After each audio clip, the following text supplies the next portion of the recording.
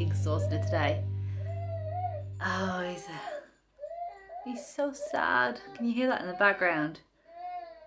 I do not know what is going on with Nate today. He's been so miserable all day and he's normally such a happy baby. Giving him some teething medication because I really do think he's struggling with his teeth at the moment.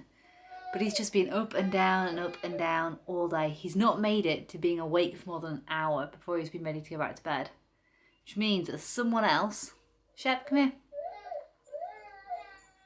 Come here. Which means that someone else, namely this guy, is really suffering, aren't you, bud? Shep, come here. Hi. Hi. Because we have not managed to get it out for a WALK yet. Have we? We're going to go soon, I promise. Meanwhile, I am absolutely exhausted because I've just been running up and down stairs all day. I figured today I would start counting to see how many times I actually do it in a day. When I used to wear my Fitbit, I always knew how many flights I did. And since I've been wearing my watch instead, it doesn't count step like flights, so I don't know. So today I've been manually tracking it, and so far I'm on 12 flights in not very many hours. Interested to see how many I do in a day. I think on average, I probably used to do about 20 flights of stairs a day. That was pre-baby, like back on my Fitbit, so about three years ago. Except that included three flights of stairs into work and at lunchtime. And they were big flights. They were probably more than just three flights. I'm not really sure. So It'd be interesting to see, having just spent the day in the house, how many flights I actually manage. I am absolutely exhausted. There's something about a sad baby that it just tires you out. And it's not that I'm doing any more than normal, it's just emotionally exhausting. He's so sad.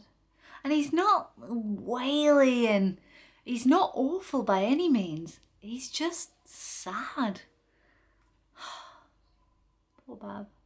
I'll show you in a minute. At the moment he's supposed to be sleeping so I can't take you in there. While I wait for Nate to have yet another sleep, I think I'm going to have a nice cup of tea and try and watch the end of Penny Dreadful. Been watching episode one now for about three weeks and today I've been watching it all day. since seven o'clock this morning and I'm still only about 20 minutes in. So hopefully I'll get to finish that while he finishes off his nap. Then we'll take Shep.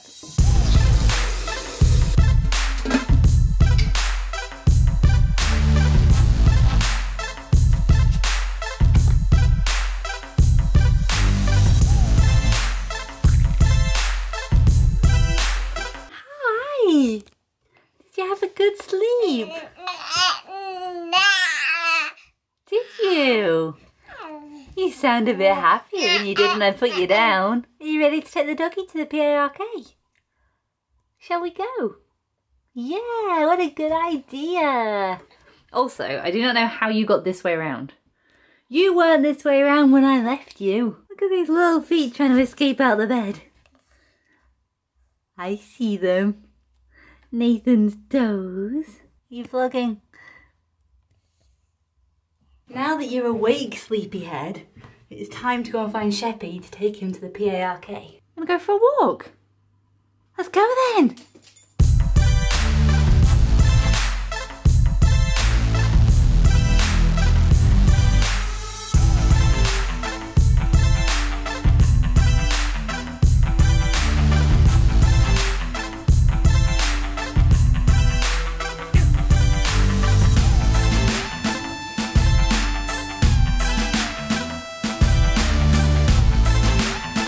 Think that might just have been Shep's very favourite walk for ages.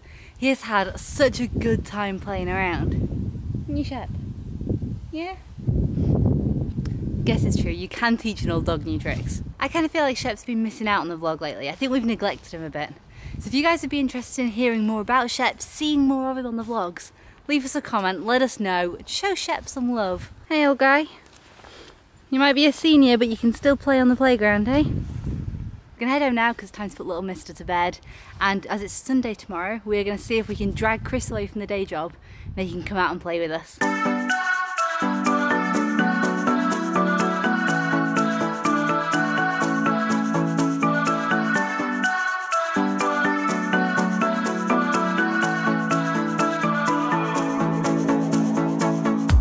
This time